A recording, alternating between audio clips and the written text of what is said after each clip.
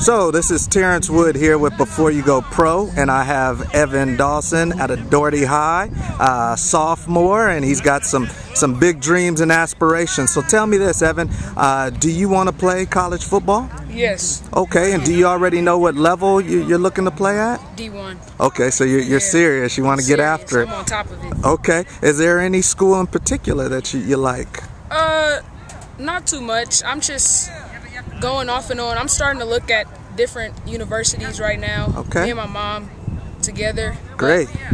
So you guys are being proactive. Yeah. Good, good. And, and does your mom, uh, she's excited you play football? Yes. Good, good. So you got some good family support. Yeah. All right.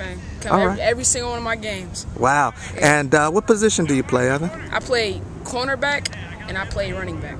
Running back. And do you have a preference for college? Which which position you want to get recruited at? Uh, most likely DB.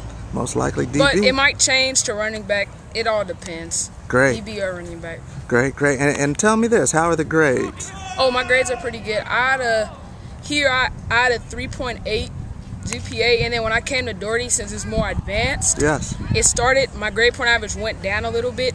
They actually don't. They email the grade point averages, so I really didn't get the grade point average. It was just the grades. Yeah. So I was averaging over there about B's Good. and C's. Good But job. over here, A's and B's.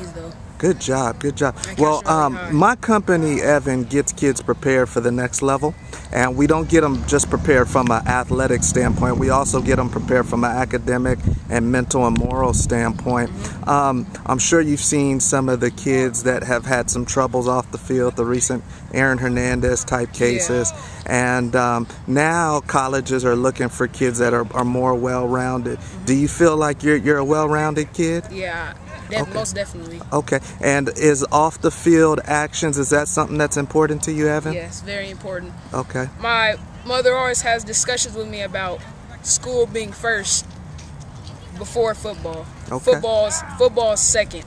all right. The grades is first. That's a smart mom. Yeah. Well, I'm sure uh, that you're going to do great things this year on the field, and we'll make sure that everybody keeps in contact with you and, and roots you to the top. Okay, Evan? Okay. All right, have Thank a good you. one. You too.